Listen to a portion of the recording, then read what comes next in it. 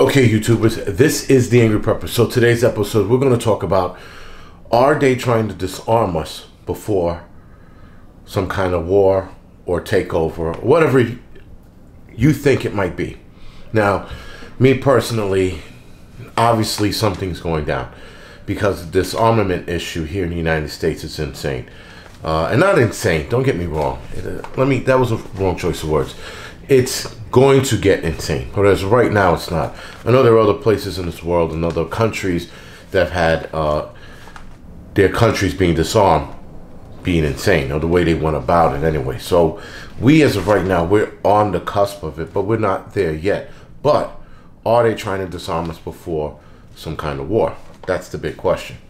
HR 127, I spoke about that on the Angry Truth channel. I also spoke about that on here. These are the links to it now. And uh, that's a disarmament bill. Now, like I said in two videos, in those two videos, I don't think they're going to pass that uh, bill, but there will be variations of that bill coming out. Now, Biden today, Valentine's Day, if you will, announced that he is going to uh, put more effort into gun control and he announced that today on the anniversary of the Parkland shooting. So, which I think was today, three years ago, something like that. So, anyway, he already made this statement. He's looking to push uh, push ahead. I am going to do a video on the Angry Truth channel on Biden's gun promise, if you will, and stay tuned for that. That'll be out later this week. Anyway. Now, I spoke about something called the Civil War 3.0, another version of a civil war. You can check that out on the Angry Truth channel. Are we headed towards a different style war?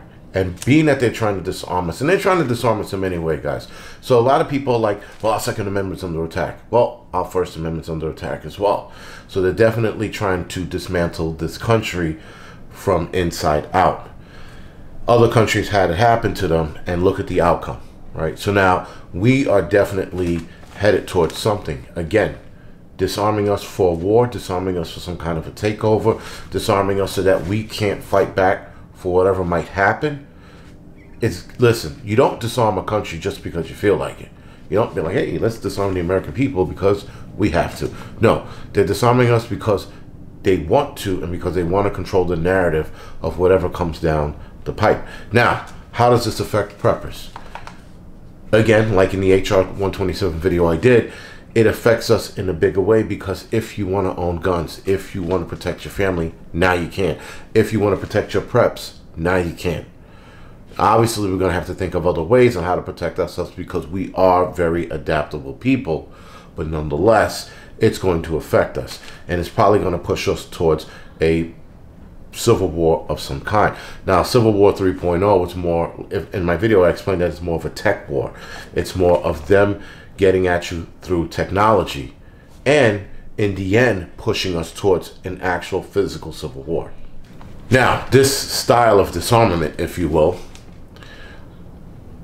is going to be, and at least in my opinion, is going to be on an individual basis. So that means they're going to disarm us and cut our communications, whether that's social media or actual, uh, you know, cell phones. Com- cut our communications so we can't talk to one another.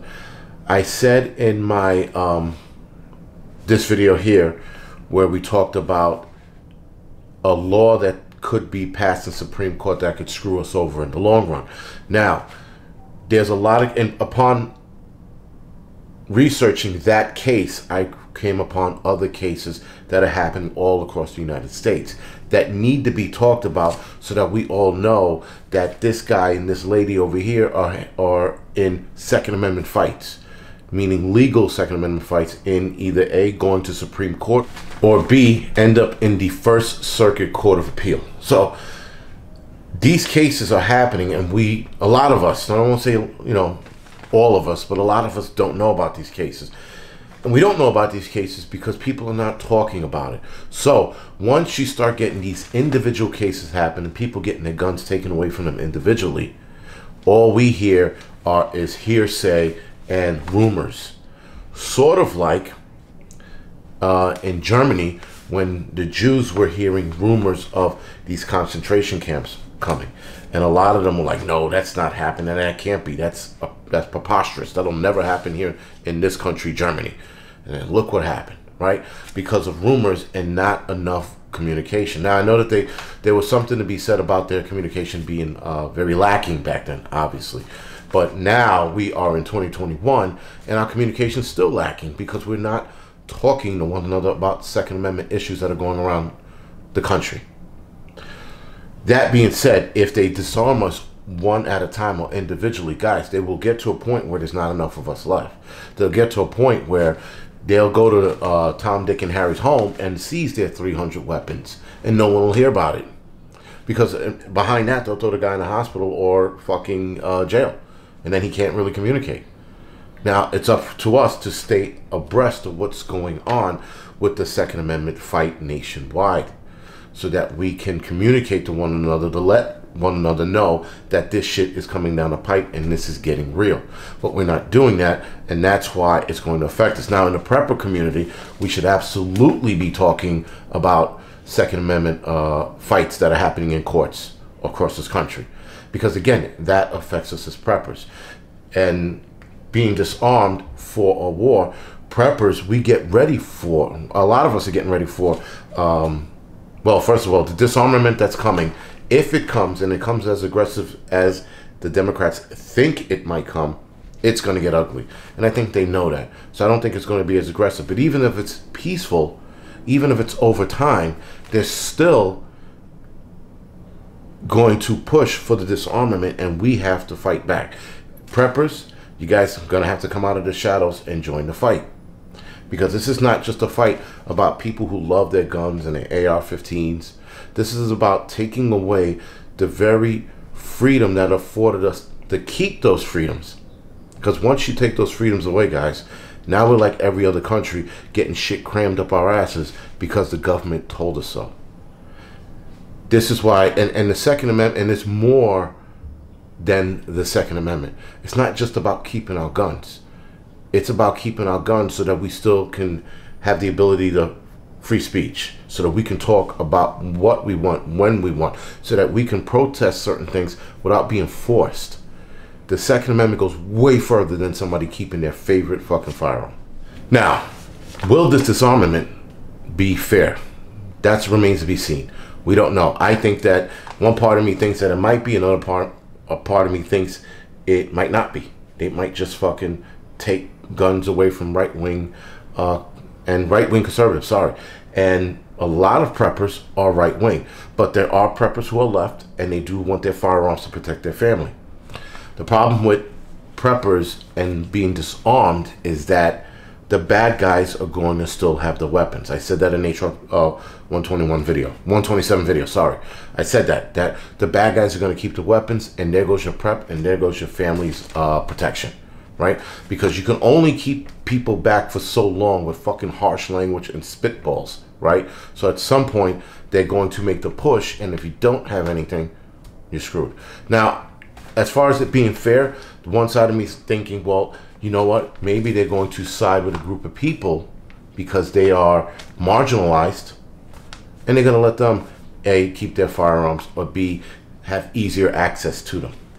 Now, again, with this disarmament, if you will, and arming us or disarming us for a war, it just sounds like there's something coming. Now, does it mean, guys, that the war is going to be an all-out fucking cannons blasting, grenade throwing kind of shit? No, but there are other kinds of wars, right?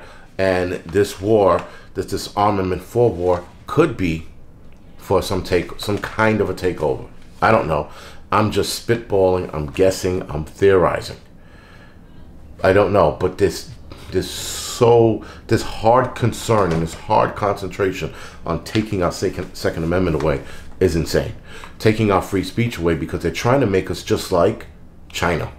China's in the same boat. China is disarmed. China's free speech is in the toilet. You speak out against the Chinese government, they can fucking lock you up and throw you away. They have a social credit score system, which I'm going to do a video on on the Angry Truth channel. They have a social credit score system, guys, that I think America is trying to uh, introduce here. right? Why not? So, guys, as far as this uh, disarming us for war, they're disarming us for something, and for preppers, that is a bad thing, a very, very bad thing. Because again, once we're disarmed, then what? We have nothing left. We have nothing left to defend ourselves. I'm sorry. So anyway, guys, this is the Angry Prepper. Thank you for watching. Hopefully this video makes some kind of sense on how this relates to us. Um, there are a lot of videos I, I, I want to do, but I'm so on the fence on whether to put it on the Prepper channel or the Angry Truth channel. A lot of the videos like this are ending up on the Angry Truth channel because it doesn't relate to prepping. But if it does, I'll, I'll obviously be doing two videos. One, how it relates to us, and the other one, how it doesn't. Well, not how it does, but how it affects the nation, right? So as preppers, guys, we definitely have to be more in tune to what's going on nationwide. It's not just about blackouts, hurricanes, and fucking snowstorms. We have to worry about the legality of things that are going to affect us down the line.